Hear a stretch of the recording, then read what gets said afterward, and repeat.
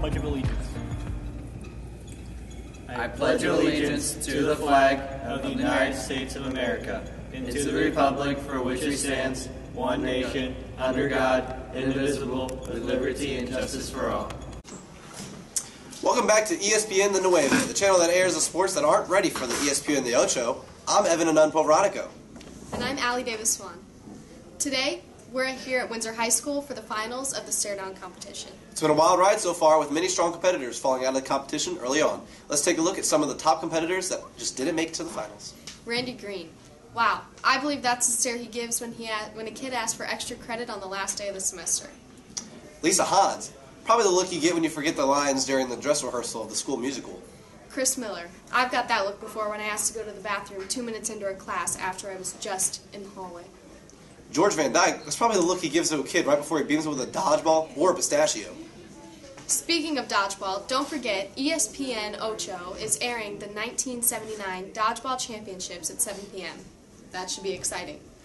On to the finals, we have two strong competitors that have really stepped up their game. In one corner, we have Joanne Marty, and in the other corner, we have John Leach. They will demonstrate their three best stares that they use to tell students that they're not happy with them. Let's go to the action.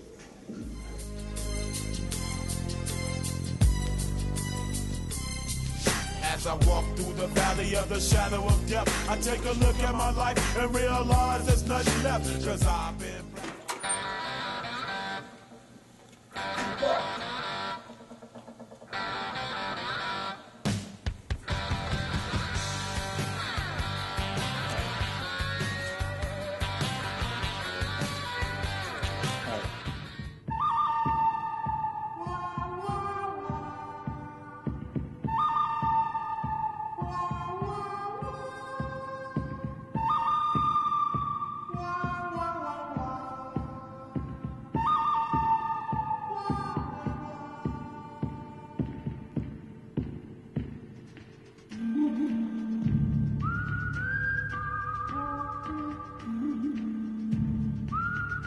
Please vote for either Joanne Marty or John Leach to win the Windsor Stare Down competition. This was ESPN The uh, Nueve. Goodbye. Good morning, Windsor High School. Today we have a high of 42 and a low of 22, and it's not going to rain a lot, which is ironic because it's National Umbrella Day. Now, awesome with the athletics. Varsity girls basketball lost a hard-fought game last night against Festus, 50 to 43. Reagan Daly had 14 points. Congratulations to Alexis Cox, Jasmine Casey, and Olivia Plessens. They qualified for the DECA State competition in Kansas City. Alexis Cox placed fourth in the food marketing event. Jasmine and Olivia placed fourth in travel and tourism team event. Good luck at state.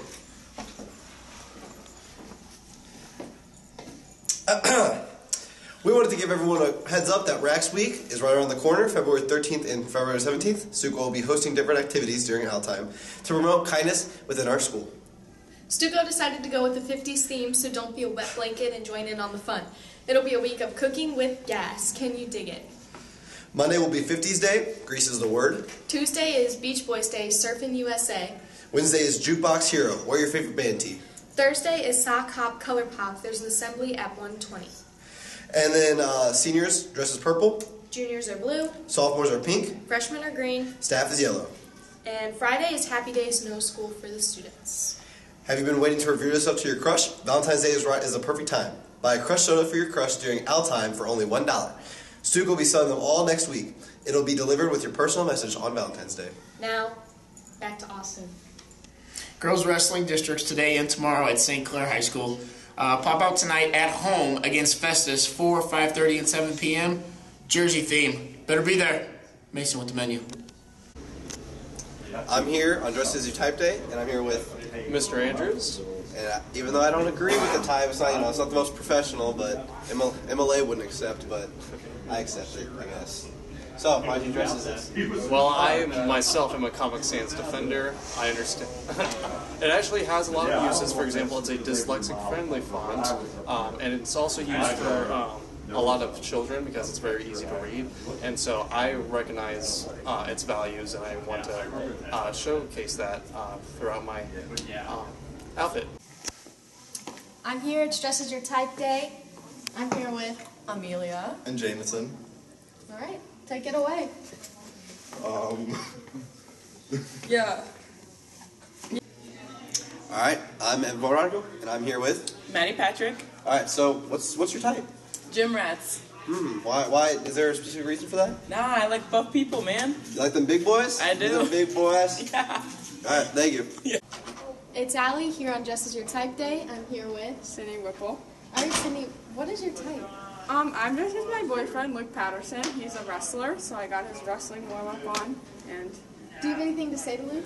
um, I like your style. Looks good on me. Luke Patterson, buy this girl a crush for Valentine's Day. It's only a dollar, and she deserves a lot more than that. Stuco is selling crush sodas to give to your crush all week for a dollar during Valentine. Check it out. Ian Baker. Uh, and Madison Crow. all right, Ian. Uh, I'm assuming you're dressed as Jade. Uh, yes, my girlfriend is in the army.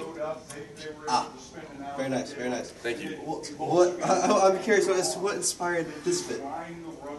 Tax evasion. Ooh, you like Ozark? Yep. Ooh, all right. Thank you.